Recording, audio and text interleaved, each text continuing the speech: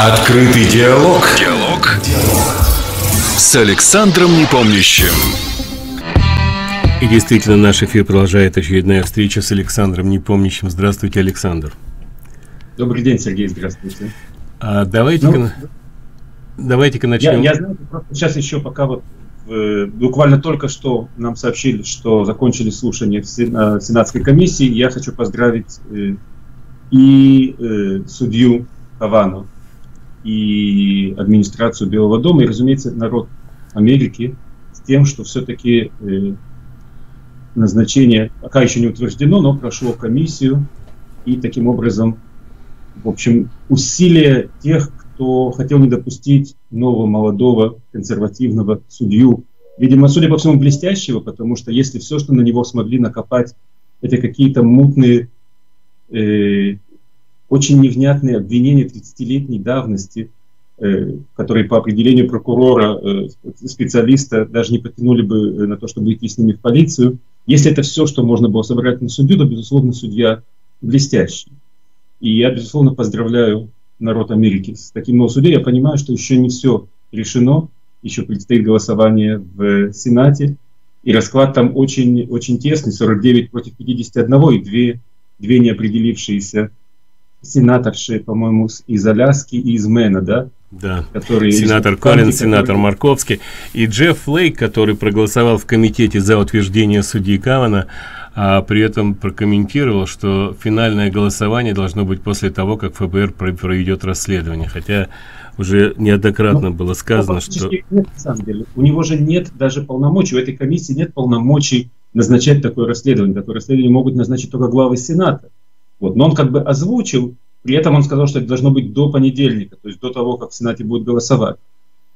Вот я видел э, комментарий э, Ивана Денисова, комментатора, американиста, который часто бывает э, на, на нашей волне. Он тоже. у нас регулярно он... по понедельникам ведет программу. Так вот, он написал очень хороший комментарий, мне он очень понравился. Он сказал, что в свое время вот такое, такое же вот, такой же аутодафе почти что, который устроили судье, вот, э, как же его звали, другому судье, похожая Клэренс Томас. Которая... Стоп, а, Борг, двум, э, Борг и Томас. Томас. Так вот, э, тогда не только в итоге утвердили его, но вот появился Брейдберг знаменитый, который, то есть вот как, как Герцель в свое время был стимулирован э, процессом Дрейфуса, то есть вот э, когда журналист Герцель, фактически ассимилированный еврей, побывал на процессе Дрейфуса и понял, насколько глубоки антисемитские корни в Европе, и что вот просто так не решить эту проблему, и задумался об этом, и вспомнил то, о чем ему рассказывал его дедушка, и, и вот эти все идеи, мистические, религиозные идеи, его де, э интерпретировались у него, образованного европейского журналиста, вот то, что мы называем сионизмом, и оно заработало. Точно так же в свое время Эндрю Брейпарт фактически был настолько потрясен э, ложью и наглостью э, вот, всего того, что происходило, что, э, что в итоге создал знаменитый свой сайт и, в общем, стал одной из э, знаковых фигур в, в консервативном в правом движении американском. И вот Иван Денисов заметил, что очень может быть вся эта ситуация вокруг э, судьи Кавана, она тоже пойдет по тому же пути, и мы увидим еще новых людей, каких-то блестящих, э, которых зацепила вот эта ситуация, та откровенная, наглое, э, наглое искажение, э, изнасилование фактически демократии, которое устроили демократы, для того, чтобы сорвать назначение судьи Кавана. И это должно привести к тому, что появятся новые брейкбарты, новые такие люди, которые э, э, придадут силы э, консервативному, вообще правому республиканскому движению в США. Ну, доживем до понедельника. По-моему, во вторник, на, на вторник назначено голосование. Ну, посмотрим, каков будет результат, когда ситуация действительно непростая, не, не все так просто. Но надеюсь, что все-таки а, хватит духу, смелости, порядочности проголосовать и утвердить судью. У нас есть звонок уже. Давайте. Давайте примем. Добрый день, пожалуйста, в эфире. Алло, добрый день. Добрый. Знаете, я когда слушал выступлением вчера. Форд, мне такое научно напоминало Хиллари Клинтон. Я не помню, я не знаю, мне это не интересует, я не знаю, кто заплатил за мой этот записывать тест-детектор. Я не помню, что было три назад записывали или нет. Я ничего не помню, ничего не знаю.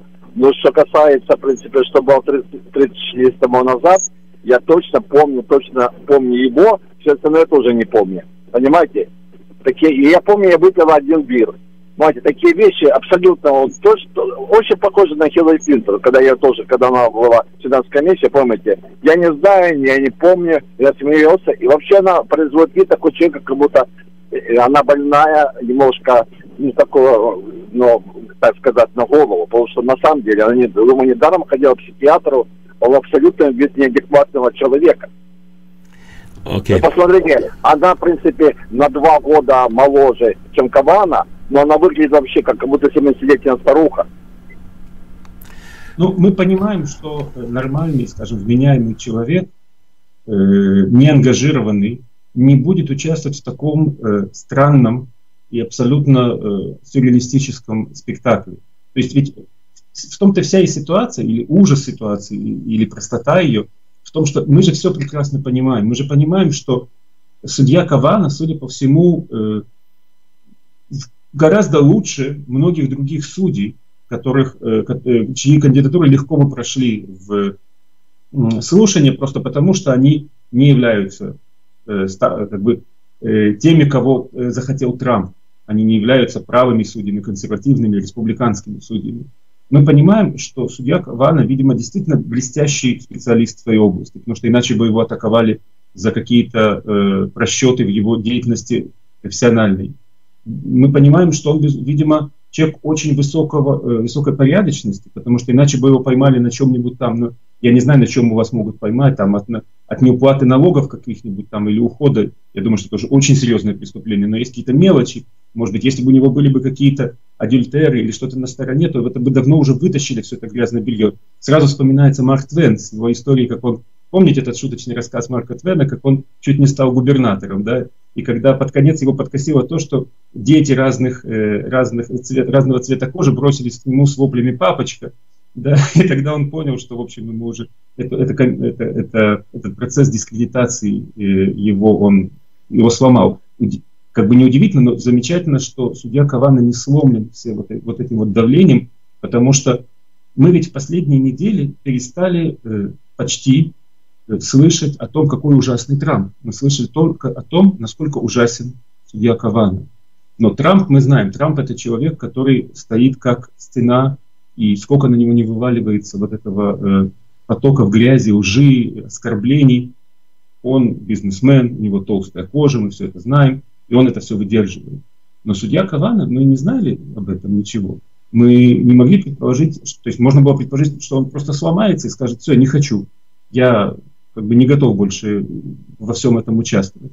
Но он не сломался, он дошел до комиссии, и мы действительно можно только приветствовать ситуацию, при которой все это развивается. Еще я хочу заметить один момент, как израильтянин уже. Вот мы часто, нам на, на передачу звонят Сергей и начинают говорить, вот Натаньяу должен сделать так, Натаньяу должен сделать так, вот почему он так не сделал. А я всегда говорю, что вот Натаньяу, он премьер-министр, его полномочий гораздо меньше, чем у Трамповых. Если бы у него были бы полномочия президентские, президента Соединенных Штатов Америки, может быть, он мог бы что-то сделать. А тут он очень здорово ограничен. Но вот даже президент США со всеми его полномочиями огромными. И как трудно назначить хорошего судью Верховный суд. Как это сложно, как это тяжело. Каким должен быть действительно удивительно достойным человеком Кавана – чтобы его не смогла сломать и, и не смогли найти против него каких-то какой-то э, каких-то факторов, дискредитирующих его. Вся вот эта машина демократов, который просто, для них он просто представитель вражеского лагеря, им абсолютно все равно, насколько он э, хороший судья. Они просто его хотят выбить оттуда, чтобы он не зашел в полный суд. Но будем надеяться, что республиканцам, вот этим двум колеблющимся республиканским сенаторшам, хватит э, ответственности то, чтобы поддержать свою партию и не предать, э, не предать э, и свою партию, и, конечно, интересы американского народа. Ну а теперь давайте вернемся к выступлениям в ООН. А, и Трамп, Нетаньяху, Аббас выступали в ООН. Вот об этом. Ну, да, значит, конечно, вот э, огромное количество изданий э, написали, что э, речь Трампа была встречена со смехом И это как бы меня это очень возмутило, потому что достаточно было посмотреть видео, чтобы понять, что там не было, не было такого момента, что она встречена со смехом. Были люди в зале, которые э, как бы с недоверием, что ли, отнеслись к тому, что когда Трамп сказал, что его, его администрация лучшая за очень долгое время в Америке. И, и мы понимаем, перед кем он говорил. Он говорил перед людьми, э, представителями государств, многие из которых сейчас очень рассержены, мягко скажем, на Америку. За то, что Америка перестала раздавать бесплатные конфеты всем э, проходимцам. За то, что Америка стала говорить э, о том, что она хочет взаимности. Если за ее товары в Европе берут налоги, то пошлину, то она тоже будет брать пошлину. И Китай, который тоже, мягко говоря, недоволен тем, что делает Трамп, потому что Трамп делает то, что выгодно Америки, американским гражданам. И, может быть, это не очень нравится другим, э, гражданам других стран, но, в конце концов, он президент США, а не кого-то другого. Понятно, что эта часть выступления Трампа касалась или была обращена, в первую очередь, американцам. И он не просто сказал «мы лучшие», э, потому что мы лучшие. Он перечислил все те многочисленные факторы, э, которые действительно делают его администрацию одной из лучших в истории американской. И мы здесь говорим даже не о том, сколько он сделал нам, израильтянам, мы говорим в первую очередь, а том, насколько он уменьшил безработицу, в том числе среди афроамериканцев, латиноамериканцев, э, других э, социальных групп, женщин, скажем, тех социальных групп, которые традиционно считаются более слабыми в обществе. И на самом деле действительно его деятельность это успех за успехом. И, конечно же, для меня, например, было очень важно услышать от него, снова он назвал вещи своими именами. Снова точно так же, как в прошлый раз, когда он выступал, первый раз он выступал, он сказал слова, которые Обама не мог выдавить на протяжении всей своей каденции. Восемь лет Обама не мог сказать «исламский террор». А Трамп пришел и сказал, это террор и это исламский террор. Не просто, не террор каких-то сумасшедших, как сегодня опять в Германии. Некто с ножом бросился на случайных прохожих, он их резал, и больше ничего пока не известно. Кто там резал их, из-за чего. И мы, конечно, понимаем, что нам потом объяснят, что речь шла о каком-нибудь сумасшедшем. Но этот сумасшедший, он же не коренной немец, да? Это какой-нибудь наверняка иммигрант э, из Ближнего Востока. И, наверное, еще этот сумасшедший иммигрант, когда он резал прохожих, которые по странной случайности были европейцами, он, наверное, кричал что-нибудь такое типа «Аллах Акбар». Но нам это сейчас уже не говорят ничего. Вот, то есть да, в Европе до сих пор не могут произнести эти слова «исламский террор». А Трамп сказал год назад. А в этот раз он сказал о социализме, о том, что зло приходит именно от социализма и от коммунизма. И это, это простые вещи, на самом деле, которые очевидны многим людям. Но есть еще огромное количество людей, которые почему-то этого не понимают. Они действительно наивно верят в то, что социализм, который разрушил Россию, который разрушил Восточную Европу, который разрушил богатейшую страну Южной Америки Венесуэлы, вот тут сейчас придет Берни Сандерс, и он Америку э, сделает еще более великой с помощью социализма. Это же смешно. Но э, и вот приходит Трамп и озвучивает то, что мы с вами часто на нашей программе говорим, но вот все-таки это другой немножко уровень. Мы на программе и Трамп с трибуны Генеральной Ассамблеи ООН. Это, конечно, очень здорово, что он это сказал. И он сказал еще другие простые вещи. Он сказал о том, что мы будем поддерживать наших союзников, а тех, кто нам не союзник, мы поддерживать не будем. Казалось бы, так просто. А ведь до сих пор этого не было сказано. И э, мы знаем, что Трамп не только это говорит, он еще и делает. Он сокращает помощь тем режимам и диктатурам и э, странам, которые не приносят никакой пользы Америке. И он деньги американских налогоплательщиков на проекты, которые не нужны Америке, не тратит. И в продолжении речи, конечно, мы понимаем, что вот как бы в, э, в рассмотрении ситуации на Ближнем Востоке Гринблад, его спецпредставитель на Ближнем Востоке по вопросам мирного урегулирования, так называемого, да, он просто в продолжении речи Трампа говорит, мы не будем разбазаривать деньги американских налогоплательщиков, которые нам дорого достаются. Он вдруг вспомнил, то есть не он вспомнил, а мы просто действительно вдруг осознаем, что деньги, которые в Америке, да, в Америке очень много денег, но это не значит, что их можно разбрасывать куда угодно и на что попало. Вот. И, и Гринберг говорит, зачем мы будем давать деньги на проекты, которые, скажем, э, на войну против Израиля, на бойкот против Израиля. Это именно то, что происходит. Мы даем деньги Аббасу, а Аббас подстрекает к террору и платит э, премии террористам, которые убивают израильтян. Мы даем деньги в Газу, а Хамас на эти деньги э, делает ракеты и туннели. или мы даем деньги на какие-то общественные организации, а они декларируют э, э, бойкот Израилю. Зачем нам давать деньги на такие вещи? Вот, и, и, и более того, эффект Трампа, он работает не только в рамках Америки. И вот уже бюджетный комитет Европарламента намерен сократить э, или заморозить 15 миллионов евро, э, которые они должны были передать в бюджет палестинской администрации, пока те не исправят свои учебники. Вот э, я помню эту ситуацию уже больше, почти 20 лет. С самого начала израильские правые посмотрели в учебники, которые в палестинской автономии были написаны. И у них потемнело в глазах, они сказали, это просто учебники, взятые из программы э, гитлеровской Германии, наци, наци, нацистской Германии.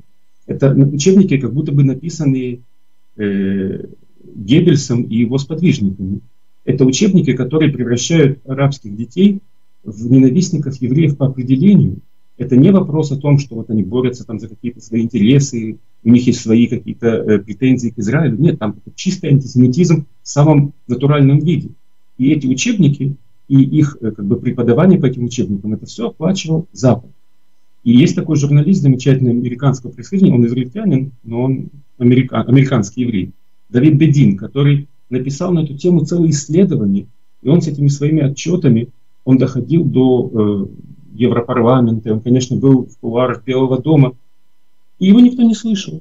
Более того, я очень хорошо помню, как э, когда мы вот эту идею и пока, развивали и показывали на диспутах внутри Израиля документы, найденные Бедином, а нам на голубом глазу левые говорили, все вранье, это все ерунда, вы все врете, нет никакого подстрекательства. Но вот эффект Трампа, просто фантастический какой-то волшебный эффект Трампа. И в Европарламенте вдруг действительно осознали, что э, учебники в палестинской автономии не учебники, которые обучают детей знаниям, они готовят из них просто ненавистников евреев в чистом виде, больше ничего. И они сказали, надо бы подправить эти учебники, что там подправлять, там нужно их просто выбросить и написать заново, или раздать учебники другие. Вот, но пока суть до дела, 15 миллионов евро из бюджета администрации палестинской парламент хочет удержать. И это, конечно, очень хорошо. Вот я вижу, что у нас, э, нам нужно сделать перерыв, и тогда, может быть, после перерыва мы продолжим. Давайте так и поступим. Буквально через пару минут вернемся и продолжим. Открытый диалог. Диалог. Диалог. С Александром Непомнящим. Возвращаемся к беседе с Александром Непомнящим. Телефон в студии 847-400-5200. Если у вас будут вопросы, пожалуйста, звоните. Ну а пока продолжим. И вы хотите закончить э, про ООН? Да, я бы хотел буквально два слова по поводу э, выступления э, Натаньяу. Дело в том, что даже э, враги Натаньяу, люди, которые в израильских СМИ, которые традиционно пишут о нем только гадость, или вообще ничего, или плохо. Вот, даже они сказали, что речь Натаньяу, вот десятая речь на Генеральной Ассамблее ООН, вот эта вот десятая его речь, она стала лучшей его речью, по их мнению. И, на мой взгляд, э, конечно, э, Натаньяу тоже, он, как и Трамп, озвучил несколько очень важных вещей, которые мы с вами часто говорим в нашей программе, часто об этом э, говорим, но одно дело, когда мы говорим это на народной волне, другое дело, когда это звучит с трибуны Генеральной Ассамблеи ООН, и это озвучено либо президентом США, либо премьер-министром Израиля. Вот, Натаньяу сказал, напомнил присутствующим в зале, на самом деле и всем тем, кто смотрел это, это выступление, что Абу Мазан убивает тех арабов, которые посмели продать недвижимость евреям. В автономии есть закон, который карает смертной казнью того араба, который продаст землю или недвижимость еврею. То есть это, это э, в худшем виде действительно апостеид. То есть Абу Мазан, выступая до Натаньяу, он назвал Израиль государством апостеида. Он говорил о расизме Израиля. И мы понимаем, насколько это все абсолютная ложь. Но вот Натаньяу вот, как бы напомнил, с кем э, вообще, кого мир слушал до этого, кому он аплодировал. Более того, Абу Мазан платит за террор и за убийство. Это теперь уже благодаря администрации Трампа стало общим местом. Теперь об этом все говорят, все это знают. И, конечно же, вот то, что больше всего понравилось э, журналистам израильским, не только израильским, то, за что даже его враги сказали, что это была лучшая его речь, что, мол, на этот раз Натаньяу не использовал просто свой, свой дар красноречия или какие-то визуальные ряды, которые он до этого рисовал, там какие-то схемы, картинки. Он действительно вытащил документы и рассказал об еще одном э, ядерном объекте, который израильская разведка обнаружила в Тегеране, и который э, действительно как-то укрылся от глаз, ну, мы понимаем, что э, укрылся от глаз МАГАТЭ, МАГАТЭ не слишком старалась, это международная комиссия по наблюдению, контролю за ядерными э, разработками, не слишком старалась обнаружить это. Более того, Натаньял нам рассказал, что вот тогда, когда мы все слышали про вывезенный Массадом архив, ядерный архив из Ирана, тогда же, на самом деле, э, те, кому нужно было знать, то есть главы государств западных и э, комиссия МАГАТЭ, они получили информацию и об этом объекте тоже. И они даже не досужились туда посмотреть. Ну и, конечно, из разведки США тут же кто-то брякнул, я не знаю, освещалось ли это в американской прессе, в израильской прессе наши левые очень долго это все обсасывали, что, мол, кто-то из разведки США, неназванный источник, заявил, да мы знали, знали про это место, там ничего нет. Мы понимаем, что, в общем, в Пентагоне есть немало людей, которых еще не успели э, поменять, я бы так сказал. Вот. И шла новая администрация, и э, этих людей в Пентагоне хорошо было бы сменить, но до тех пор, пока министр э, обороны американский э, тоже, в общем, не самая лучшая качественная фигура, то под ним ходят генералы и вовсе. Вот. И они точно так же как бы хотели, возможно, прикрыть э, себя, потому что их спросят, а если Моссад это знает, почему вы этого не знали? Ну, а они скажут, а мы знали, знали, там ничего нет такого. Ну и на, в надежде на то, что если туда сейчас сунется МАГАТЭ, то иранцы уже успеют попрятать э, детали ядерных своих объектов и действительно оставят только бумаги, как утверждает этот разведчик. Но мы уже сегодня слышали, что представители Госдепартамента, нового Госдепартамента, от Помпео, не Керри, они требуют у МГТ и спрашивают у МГТ, где же расследование, когда оно будет. И теперь МГТ не сможет сделать вид, что э, они не услышали, потому что их спрашивает Госдепартамент США, и это все-таки очень серьезная сила. Ну, а армия Израиля в это время нам продемонстрировала фотографии э, объектов Хизбаллы, которые, военных объектов Хизбаллы, которые те прячут буквально вот в густонаселенном Бейруте. То есть прямо посреди э, густонаселенных кварталов они расположили свои склады в надежде на то, что Израиль не решится их атаковать.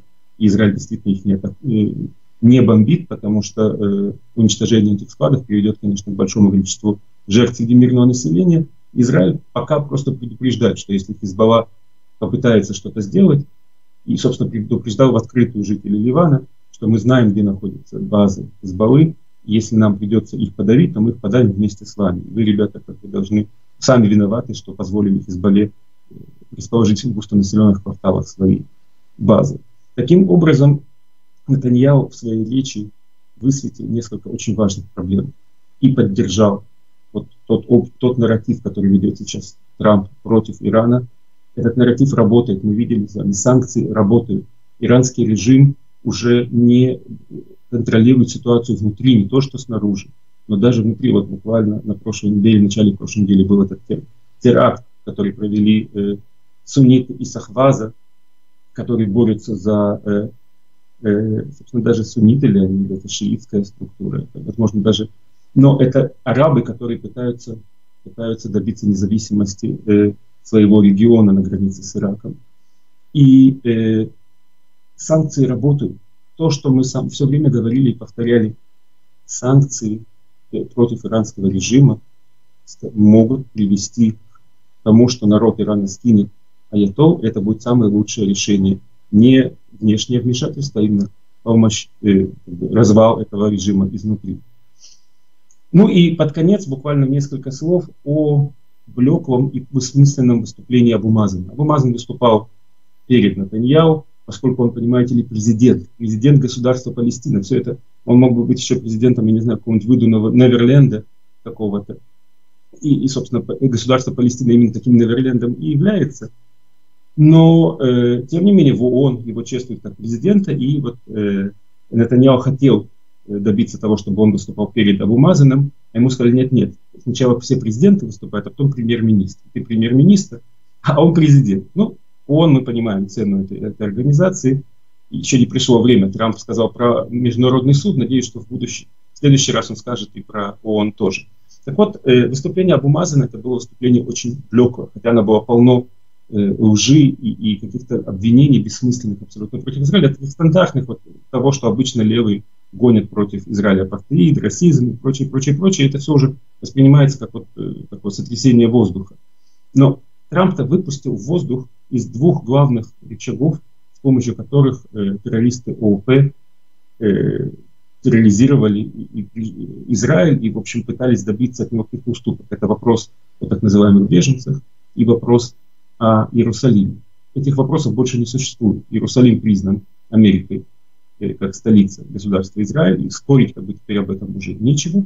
Ну, а беженцев мы все услышали о том, что этих беженцев давно уже не существует, речь идет об очень небольшом количестве людей, и Америка больше не будет субсидировать агентство УНРWA, которое увековечивало эту проблему. И вот теперь, когда Аббасу нечем говорить и нечем э, третировать, нечем нажимать на Израиль, он, э, в общем, может только сотрясать воздух какими-то оскорблениями, глупостями. И в основном-то его выступление было направлено на Хамас. Он угрожает Хамасу. И мы знаем, что параллельно в Хамасе и в, э, в Газе, и в администрации Абумазана идут взаимные аресты активистов. То есть Абумазан арестовывает, достаточно жестко арестовывает активистов Хамаса, а Хамас в Газе вылавливает, арестовывает представителей Организации освобождения Палестины. Эти две структуры, и хотят, нам пытаются все время сказать, что они вот-вот еще немного, и они помирятся и объединятся. Но мы видим, что раскол между ними только углубляется, он будет углубляться еще и дальше. Если у нас будет сегодня время, мы чуть-чуть поговорим подробнее о том, что нам можно ждать э, от Хамаса в Газе. Давайте попробуем. И А, есть вопрос, давайте ответим да, на вопрос. Да, давайте попробуем я... принять, пожалуйста. Слушаем вас. А, здравствуйте. А, уважаемый Александр, э, Россия собирается поставить э, Сирии э, С-300. Как вы думаете, сможет ли Израиль разбомбить это, эту поставку еще до ее установки? еще один вопрос. Популярна ли э, в Израиле теория создания палестинского второго государства на территории Иордании? Спасибо большое. По поводу первого вопроса, э, наверное, Израиль, если бы напрягся, бы мог бы разбомбить э, эти, этот караван, эту поставку еще, когда она, так сказать, только прибывает. Но я думаю, что Израиль это делать не будет. Потому что, э, несмотря на весь тот шум и гвалт, который поднялся вокруг после истории непонятной со сбитым самолетом, сбитым сирийцами, вот, и с попытками российского генералитета свалить всю вину на Израиль, тем не менее у Израиля и у российского руководства политического остаются очень тесные э, связи. И э, с обоих сторон есть желание эти связи сохранить. Э, Израилю просто невыгодно создавать себе лишние проблемы, а России тем более невыгодно, России, погрязающей все глубже и глубже в сирийском конфликте, тем более это невыгодно. И мы даже слышали Лаврова, который вот как бы Лавров э, вдруг вот в разгар всего этого бес, э, всей этой суматохи вокруг самолета вдруг озвучил очень интересный момент. Я не помню, рассказывал я в прошлый раз это или нет.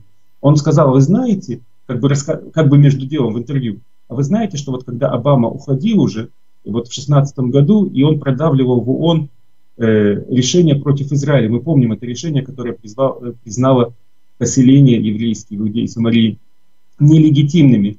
Так вот, э, оказывается, он тогда хотел продавить гораздо более жесткое решение, фактически требование, чтобы Израиль отступил к границам 1967 года, то есть границам до шестидневной войны. И э, Россия сказала э, в кулуарах до того, как началось голосование, что она это не поддержит. То есть Россия не стала как бы демонстративно вето накладывать на такое решение, просто предупредили, что они его не поддержат. И Обаме пришлось отступить. То есть Лавров пытался снизить накал страстей вот буквально на этой неделе. То есть, другими словами, Израилю с Россией э, совершенно не имеет смысла ссориться. И Израиль подождет, пока эти С-300, если они поступят, поступят на вооружение сирийской армии. И что будет дальше? Потому что их еще надо включить, их еще их нужно поддерживать. Это очень энергоемкие, мягко говоря, системы. Их нельзя держать включенными все время. Сирийцы должны примерно представлять себе, когда э, их включать и в какую сторону их включать. И только тогда они как бы смогут что-то увидеть. И мы знаем, что Израиль давно натренировался на подобных системах в Греции и на Кипре и умеет э, их обходить. И мы знаем, что израильские ВВС знают, как подавить такие системы. Поэтому если нам понадобится решить вопрос э, в Сирии, и под ногами будет путаться С-300, то Израиль их уничтожит, когда уже они там будут развернуты. Вот, а э, просто так ссориться с Россией и бомбить как бы российскую поставку, у Израиля нет никакого интереса. Что касается второго вопроса о том, насколько популярна в Израиле создание э, государства для арабов в Иордании фактически как бы превращение, не превращение, а официальное объявление Иордании вот тем самым государством для палестинских арабов, которым оно и является. Вы понимаете, в Израиле существует жесткий расклад на правых и левых. И левые, конечно, э, находятся в каком-то таком вот сейчас прострации, потому что все, во что они верили, ну, честные левые, скажем так, не те злодеи, которые стоят э, ведут эту, эту паству, а простые честные левые, которые думают, что так действительно будет лучше для Израиля, теперь они в растерянности, потому что они видят, что ничего хорошего их идеи, во то, что они верили, ни к чему не привели. Вот. Среди правых, конечно, тоже много разброда и шатания, и, к сожалению, и правые политики озвучивают не так часто, как хотелось бы, идею о том, что именно Иордания должна стать вот этим государством для палестинских арабов. И нужно делать чаще и нужно чаще напоминать. И вот как раз вот в этом контексте я хотел сказать, что израильская левая пресса страшно радовалась, когда они вытащили из контекста фразу Трампа о том, что он поддерживает идею двух государств. Ах, вот наконец и Трамп поддержал идею двух государств. Вот какая радость. Потом, правда, Трамп немножко их охладил, он напомнил, собственно, он сказал то, что и раньше говорил. Он сказал, мы в Америке хотим, чтобы евреи и арабы наконец как-то разрешили свой конфликт. Если они решат одно государство, мы поддержим. Если они решат два государства, мы поддержим. Я бы продолжил эту мысль. Если они решат три государства или даже 54 государства, мы тоже их поддержим. Просто пусть они договорятся. Это то, что он сказал. Это были просто слова. А по факту мы знаем, что он признал Иерусалим, и он разоблачил блеф с беженцами. Поэтому, конечно, э, левые иногда очень, у них wishful thinking очень, очень сильно развит. Они очень хотят, чтобы все поверили в их э, бредни. Но вот к сожалению или к счастью, эти бредни не оправдываются. И мы видим, что хоть они и пытались вставить Трампу слова, которые он не произносил, он их немножко разочаровал и пояснил, что ничего такого не имеет. Давайте попробуем принять еще звонок. Добрый день. Алло, добрый день. У меня к вам два вопроса. Первый вопрос. Вот вы в начале передачи рассказывали нам о правде и лжи. Вы понимаете? Сейчас у вас все в Израиле говорят, это сирийцы сбили. Но Российская Федерация показала вам и всему миру satellite images и радарные снимки, где видны координаты вашего самолета, промежутки времени. Ну не удерешь ты от этого, вы понимаете, это правда. Если бы это была неправда, то наша страна, у которой одна из самых лучших, а может даже самое лучшее оборудование космическое, это бы опровергло а если бы она опровергла, покажи что-то свое. А нету, нечего показать, вы понимаете? Поэтому они не опровергали. Вы же упрямо э, упираетесь на то, что вот это вот сирийцы виноваты. Почему так трудно сказать правду в этом случае, а, э, а искать неправду где-то в другом месте? Это первый вопрос. А второй вопрос а. у меня, Трамп там предлагал дважды э, для, Сири, э, для э, палестинцев э, мирное создание второго государства. Первое это была конфедерация с Иорданией, а второе, что мне отказали, я так и не понял. Объясните мне, пожалуйста. Хорошо, по поводу первого вопроса, я не совсем понял, когда вы сказали «ваше государство», не совсем понял, вы кого имели в виду, Россию, потому что у России совсем не самые лучшие э, космические снимки. Если вы имели в виду США, то американская администрация уже э, сказала, что она поддерживает э, позицию израильтян, и они подчеркивают, что Израиль ни при чем, и э, самолет российский подбили сирийцы. Так что вам нужно больше смотреть американские новости и меньше смотреть российские каналы. Что касается российских каналов, то с ними все ясно. То есть на самом деле израильтяне как раз, именно израильтяне показали четкие временные все даты, даты и снимки, и факты.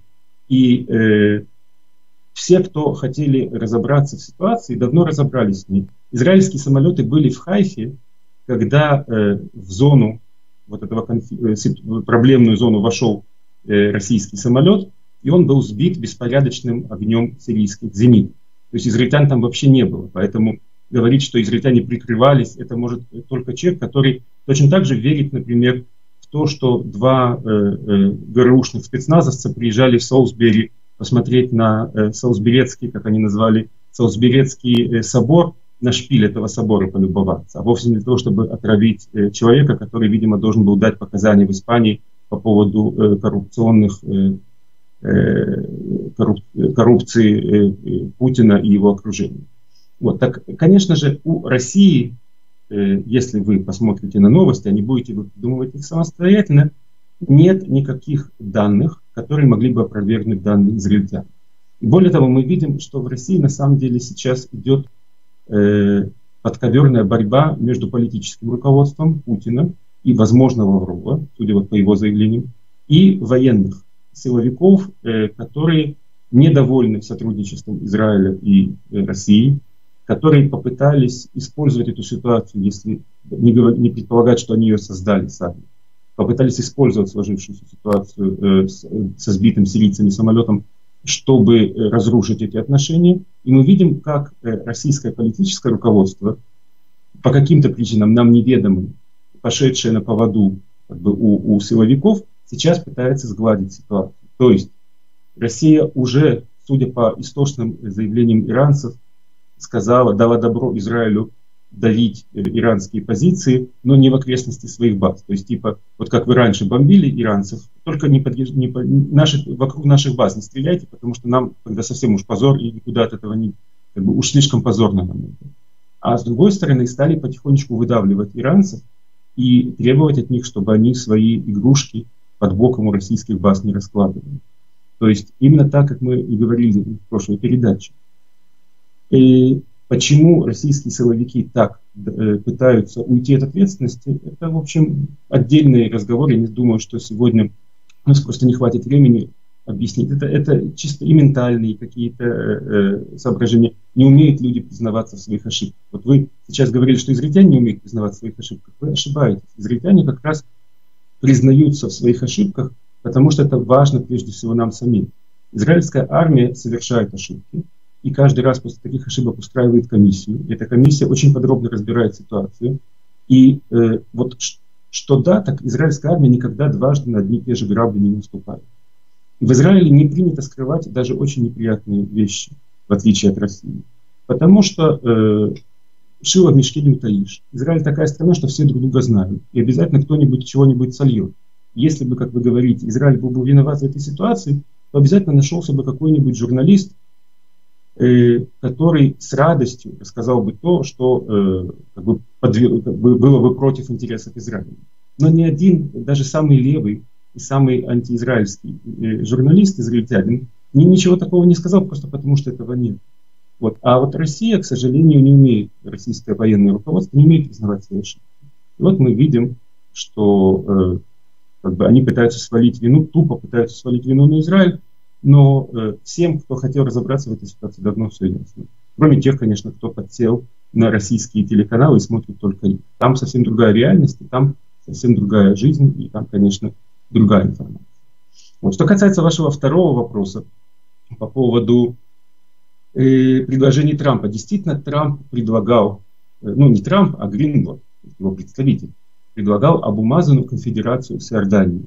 И Абумазан, конечно же, отверг Потому что Абу Мазану, объясню вам, напомню вам еще раз, Абу Мазан террорист. Его задача борьба с Израилем. Ему совершенно неинтересно быть э, главой какого-то государства арабского, заниматься созданием больниц, детских садов, прокладывать инфраструктуру, там водопроводы, например, школы открывать. Ему это не нужно. Они хотят уничтожить Израиль, а не построить свое собственное государство. И поэтому, конечно, любое решение, которое ведет к какому-то мирному разрешению ситуации, его по определению не устраивает. Ну и, конечно, саму Иорданию это тоже не устраивает. Иорданский король, э, он чужой человек в Иордании. В Иордании действительно большинство палестинские арабы. И они этого короля не очень-то и долюбливают. И он прекрасно понимает, что если бы не штыки э, черкесов, на которых он сидит, и бедуины, которые его поддерживают, то давно бы его уже там смели бы и снесли. Вот. И, конечно, присоединив к себе еще и арабов, э, иудеи Сомалии, он точно разрушит этот баланс. Поэтому иорданский король этого не хочет. Э, и сам Абу Мазан этого не хочет. Но да, это решение было бы разумным, чтобы арабы, иудеи и Сомалии стали бы гражданами Иордании. Вот, и, может быть, даже перебрались бы туда, освободить нам эту землю. Вот. Но, к сожалению, разумные решения пока арабы принимать не хотят, значит, будут какие-то силовые решения, которые в итоге их оттуда э, вытащат. Ну, давайте попробуем принять еще звонок. Добрый день, пожалуйста, в эфире. Я прошу прощения, разрешите мне вас немножко подправить. Ни один американский канал и не ваш канал не показал эти радарные снимки, которые вы что-то опровергали. Потом вы говорили, что э, ни один ваш политик, даже либеральный, ничего по этому поводу не сказал. Ошибаетесь. Только вчера в газете «Хайрец» Гидеон Леви написал статью «Наконец Россия-матушка поставила э, Израиль в свои рамки», где он подробно описал, почему это произошло и как. Можно говорить все, что угодно, что этот э, Харец это либеральное отребье, это прихлебатели Нью-Йорк Таймс, это против Трампа. Но человек написал очень хорошие вести. Э, хотите, я вам сейчас расскажу, или вы сами прочитаете, а нет, потом нет, в следующей программе нет, нам это объясните. Потому что Гидеон Леви, Гидеон Леви это фигура известная. Это человек такой вот, как Яша Кедми, например. Яша Кедми, мы о нем говорили в прошлый раз, э, ничтожество, которое называет себя генералом израильских спецслужб, который никогда, конечно, не был ни генералом, ни главой израильских спецслужб, он был э, банальным чиновником израильской э, государственной структуры, очень короткое время, наворотил там кучу делов, и больше, так сказать, никогда его не подпускали к государственной работе. Он болтун и э, сегодня зарабатывает деньги тем, что озвучивает э, как бы кремлевскую пропаганду от имени израильского э, специалиста. Хотя он, он действительно израильтянин, хотя не специалист. Гидон Леви – это человек, действительно, как вы э, заметили, представитель, э, журналист газеты «Гаарет». Человек, абсолютно не знающий ситуации. То есть это не тот человек, который знает, что на самом деле произошло. Гидон Леви написал статью, э, в которой он э, словословит в адрес э, российских силовиков – и ругает Израиль. Он всегда ругает Израиль, потому что он ненавидит Израиль, будучи, несмотря на то, что он израильтянин. Но никакой реальной информации, кроме ссылок на э, мультик, который предложила российская, российские мультипликационные войска, он там не дает. В отличие от него, в той же самой газете «Гаарец» э, журналист Амос Арель, который действительно имеет доступ к реальным... Гидон Леви публицист, то есть болтолог.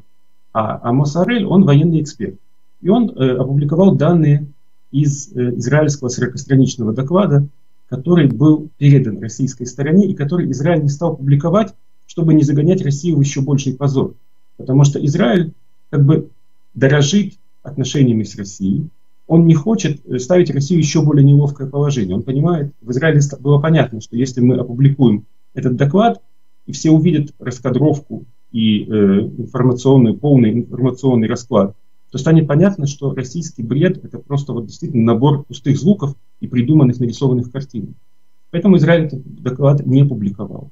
Но Амос Арель из Гаарец, он так сказать, достал оттуда куски, он их вытащил в свет, и мы убедились том, что действительно все, что говорит российская сторона, военные российские, это просто бред силой кобылы, то есть от слова совсем.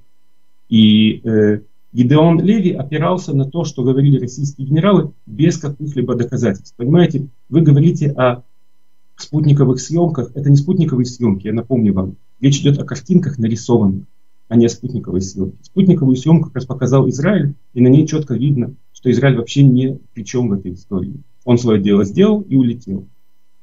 Российская пропаганда сейчас продвигает версию э, э, российских силовиков, Э, кремлевские тролли ее озвучивают на всех каналах.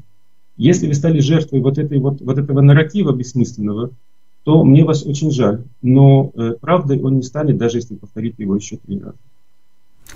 Ну что, попробуем принять еще один звонок. Добрый день.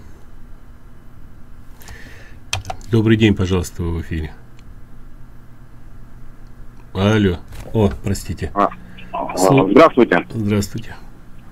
А этот дядька, который звонит, электрик, он ненавидит и Америку, и, и Израиль абсолютно одинаково. И готов поцеловать Путина в то самое место, на котором тот сидит.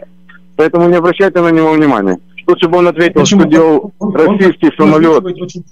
э, а российский самолет радиоэлектронной разведки, а, который совершенно не должен находиться в, э, в пространстве ни, ни с туристом, ни в израильцем. Что он там делал, что он там забыл? Спасибо за ваш звонок. А, Александр, ну, к сожалению, времени больше не остается, поэтому на этом будем заканчивать. Как всегда, очень интересно. И до встречи в следующий раз. Доброго.